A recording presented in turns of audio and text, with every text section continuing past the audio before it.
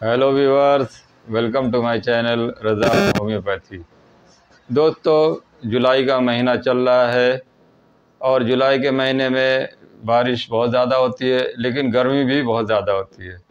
तो ये उमस वाली गर्मी लोगों को बहुत परेशान कर रही है, हर तरफ़ लोग परेशान हैं। तो इसमें बहुत सारी कॉम्प्लिकेशंस भी आती हैं। तो इस गर्मी में, उमस वाली गर्मी में अगर कोई कॉम्प्लिकेशन आ रहे हैं तो उसका भी होम्योपैथिक में बहुत ही अच्छा इलाज है।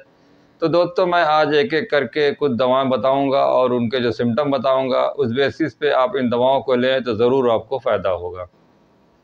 तो दोस्तों, इसमें सबसे नंबर वन दवा है लेकेसिस। लेकेसिस थर्टी, ये उमस वाली गर्मी में बहुत लोगों को इससे बहुत सारी कॉम्प्लिकेशन आती हैं। बदन हाथ में दर्द है, सुस्ती है, कमज़ोरी अगर आ रही है कुछ काम करने का मन नहीं करता, लाइफ अच्छी नहीं लगती है, चिड़चिड़ापन लगता है तो उसमें ये लकेसिस बहुत अच्छा काम करती है। उसके साथ साथ अगर बॉडी में नज़ला ज़ुकाम, खांसी हो रहा है या बॉडी में दाने हो रहे हैं, इस गर्मी से बहुत परेशानी हो रही है, गर्मी बर्दाश्त नहीं हो रही है तो लेकेसी थर्टी इसकी बेहतरीन दवा है। गले में भी अगर दर्द हो रहा है, कोल्ड ड्रिंक, आइसक्रीम खाने के बाद अगर गले में दर्द हो जाता है तो उसमें भी लैकेसिस बहुत अच्छा काम करती है। सर में दर्द हो, बेचैनी, घबराहट हो, अगर ये सब सिम्टम आ रहे हैं तो आप लैकेसिस थर्टी, दो दो बूंद, तीन बार लें।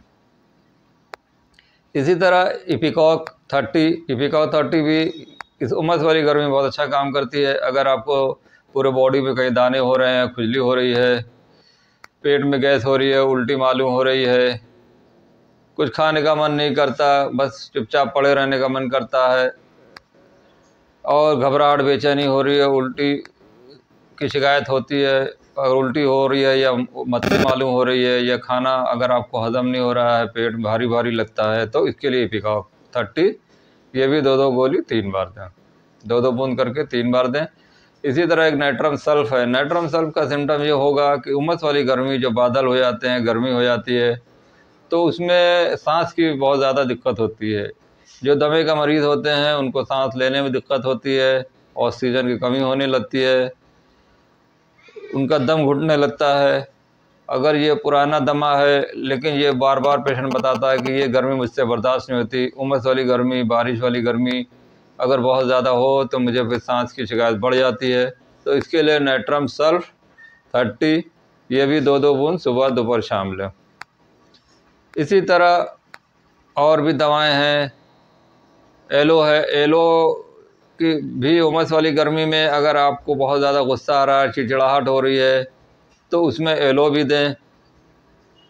माइंड सिम्टम पे अगर ये आप दवाएँ दें तो बहुत अच्छा काम करती हैं तो एलो का सिम्टम गुस्सा बहुत ज़्यादा होता है, लेकिन वो इसको गुस्सा अपना किसी पे ज़ाहिर नहीं करता, वो खामोश रहता है, लेकिन अंदर ही अंदर बहुत ही गुस्सा आता है, बहुत ही सेंसिटिव पेशेंट होता है। ऑयलो का लूज मोशन की भी शिकायत हो सकती है या डायरिया डिसेंट्री अगर पेशिश हो रही है। अगर गैस के साथ मोशन लेटरिन वगैरह पास हो जाती है तो एलो बहुत अच्छा काम करती है।